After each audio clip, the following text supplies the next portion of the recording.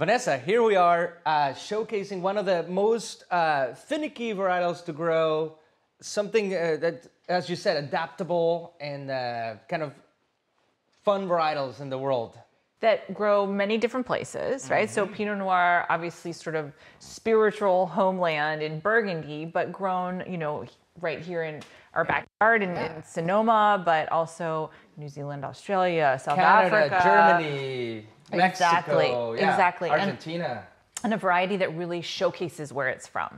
So I I'm excited to talk about it. Um, it's a you know a thinner skin variety, so um, can vary in levels of tannin, but generally lower than if we're talking about let's say Cabernet Sauvignon uh, or or a variety like that. Um, also known for really fresh acidity, exactly. which makes it food friendly, right? Totally lively, very pure, Mm-hmm. feminine, pretty. Exactly, Generally. and and and also I think um, you know usually in its youth lots of sort of fresh berry fruit, but can really get this sort of really interesting gamey quality as as it ages. Black tea and Mm-hmm, spice and yeah. So I'm uh, I'm really excited to to dive in and and show everyone why we chose Pinot Noir. Yeah, it's not every day we get to try them side by side, two different areas. So Exactly. All right, let's get started. cheers.